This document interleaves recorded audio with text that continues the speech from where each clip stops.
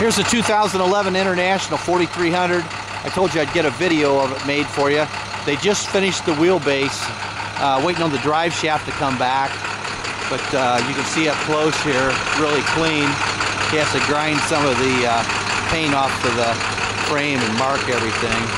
Guy's an ace, he's really good. All the tires are excellent on the back. Very clean double 50 fuel tanks, air brakes, cold start plug, excellent front tires, front bumper's perfect, rims are very clean, heated mirrors,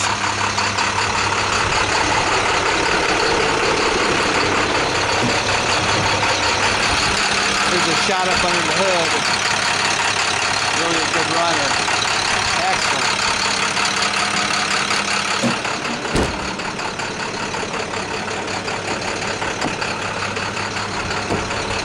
Here's a shot inside. All the books are in it. Air driver's seat. Three quarter bench. Inside wise. oh, ah, look at this. Power windows power locks, tilt wheel, intermittent wipers, cruise control, stereo radio, auto. So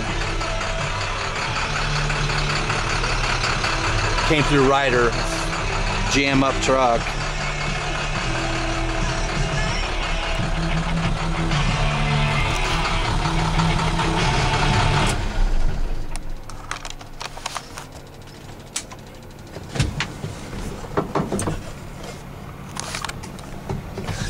He left the keys out so I could uh, get it checked out so I could send you uh, a video. Like I couldn't get it out get it to you yesterday because they still had it inside and pinned against the wall. So anyhow you can see uh, the cleanliness of it. It's in, in, good shape. So give me a call back here at 260-437-4577 so she's getting close. She'll be over at Arbor Tech, and then they're waiting. The body's already built. Waiting on uh, just getting her finished up here. It's got to go to service yet, and uh, then we'll take it uh, take it over and get it done. You can pick it up over there.